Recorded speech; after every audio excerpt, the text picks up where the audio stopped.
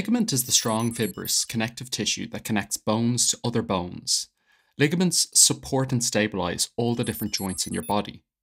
Ligament sprains, strains, or tears are some of the most common types of injury in sport. In fact, ligament sprains and strains account for about 44% of all sport related injuries.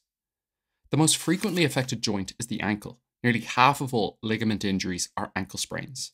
This is followed by the knee, which makes up about a quarter of these injuries. Broadly speaking, when it comes to specific sports, American football, soccer, basketball, and skiing are among the highest risk activities for ligament injuries.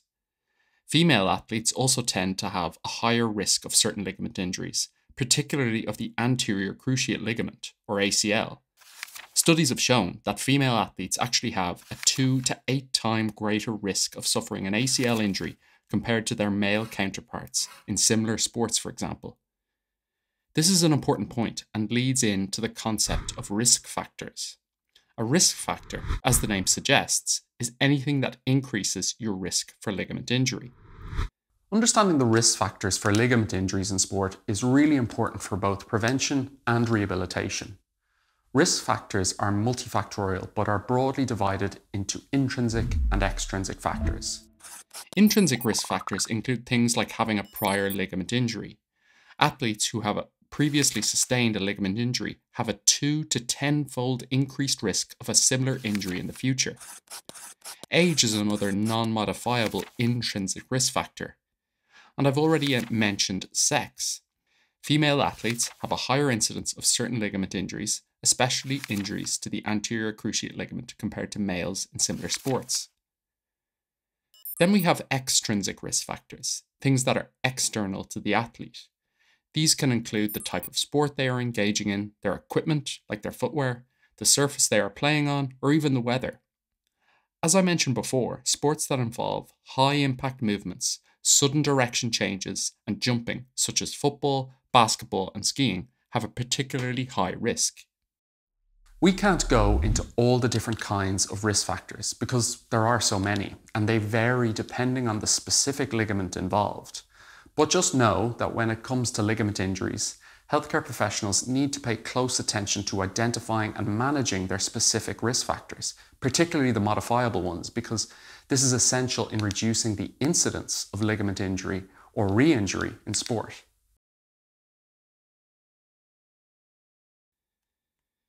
In simple terms, ligaments comprise of dense connective tissues made primarily of collagen fibers.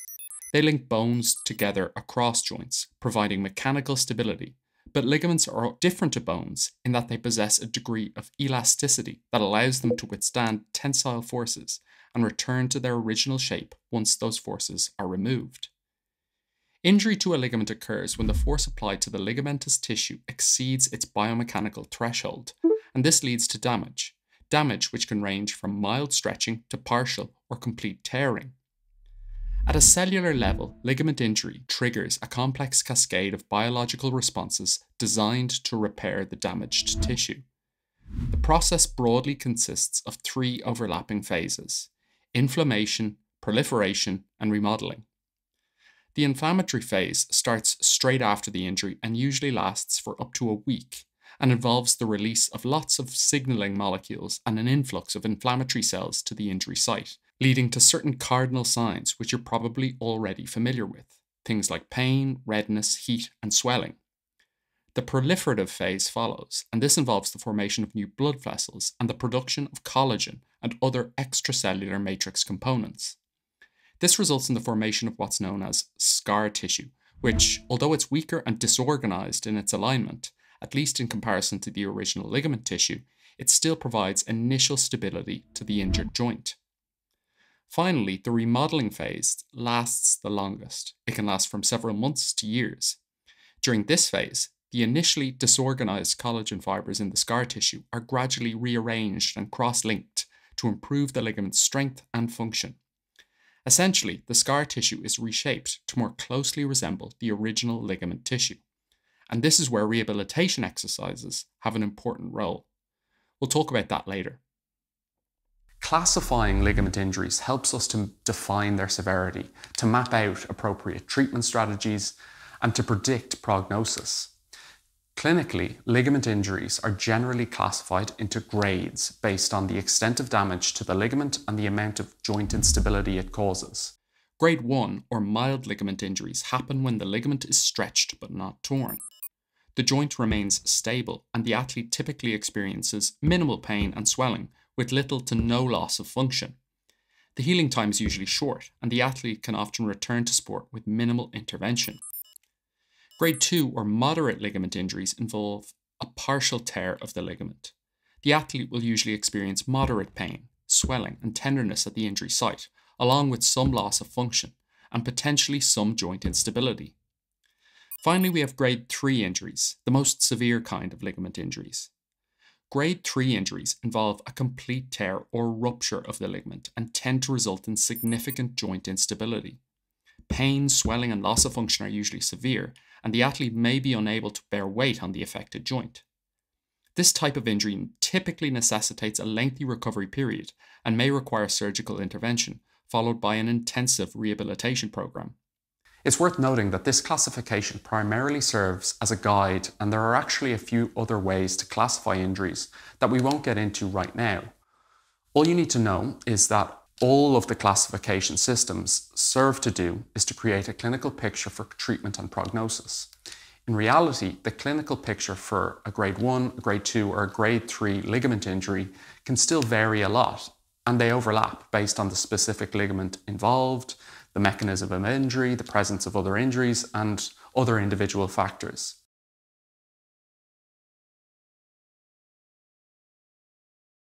Diagnosing ligament injuries involves a comprehensive approach that takes into account the athlete's history, their symptoms, a physical examination, and in many cases, imaging studies.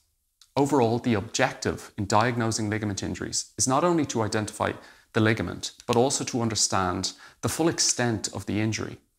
This is crucial as it has implications for management and prognosis. First, the healthcare professional will take an in depth history of how the injury developed. Key aspects include the mechanism of injury, the onset and location of pain, whether the athlete heard any audible pop at the time of injury, and whether they were able to continue activity after the injury. The healthcare professional will also be particularly interested in ascertaining any details about prior similar injuries and the athlete's conditioning and training practices, as those are potentially important risk factors which we talked about before.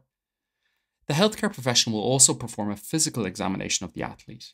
This involves inspecting, palpating, and stressing the ligament in different ways, and evaluating the available range of motion at the affected joint. Ligament stress tests, like the anterior drawer test for the anterior cruciate ligament or the talar tilt test for the ankle ligaments, are good examples of special tests that the healthcare professional might perform to assess the integrity or involvement of these ligaments. Usually, a thorough clinical assessment is enough to diagnose many ligament injuries, but sometimes imaging studies can be used to confirm the diagnosis and help assess the severity of the injury. Standard radiographs, like x rays, can exclude fractures and certain avulsion injuries, while more detailed imaging, like magnetic resonance imaging, or MRI, is often used to assess the extent of ligament damage and to identify associated injuries to the cartilage or other soft tissue structures. Ultimately, an accurate diagnosis is the cornerstone of effective treatment for ligament injuries.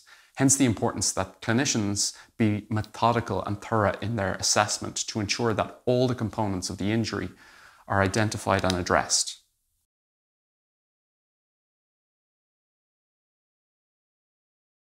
Finally, we move on to the concepts underlying the treatment of ligament injuries. Depending on the stage of recovery, this can involve lots of different strategies. At the start, the overall principle is pretty simple. Focus on pain management and minimize swelling. But as recovery progresses, things get a little bit more complicated. The athlete will need to incorporate a re rehabilitation exercise program with strength, balance, agility, and eventually sport specific drills before they can return to play.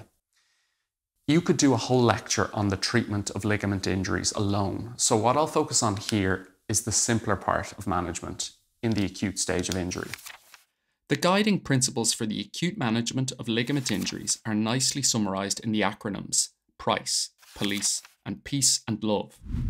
PRICE, or Protection, Rest, Ice, Compression, Elevation, is used immediately after the injury. Here, protection refers to shielding the injured ligament from further damage to the tissue, followed by gradual reintroduction of movement. Ice is applied for 15 to 20 minutes every 2 to 3 hours to manage pain and swelling. Compression helps control swelling and movement, while elevation aids in reducing swelling by improving venous return. Next, we have police. Police is essentially the same as price, except optimal loading, OL, is introduced to replace the rest part of price. This underlines the necessity of beginning controlled therapeutic movement and exercises to promote tissue healing and prevent muscle deconditioning as soon as 48 hours after injury, or as pain allows. Finally, we have peace and love, protection elevation, avoid anti inflammatories, compression education, load, optimism, vascularization, and exercise. This more recent approach to managing ligament injuries acknowledges the importance of both immediate and long term actions in the recovery process.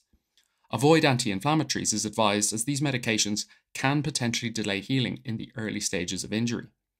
Education stresses the understanding of the condition, the projected healing timeline, and the importance of adherence to treatment protocols.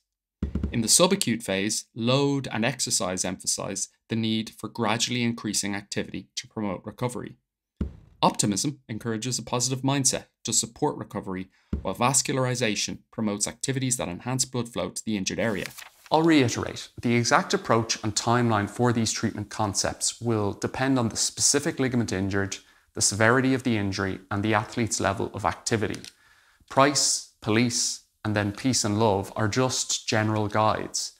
They don't give any information about the specific balance, strength, and sport specific drills that should be completed to achieve full recovery. Like I said, we don't have the time to go into these here, but these general guidelines are a good start.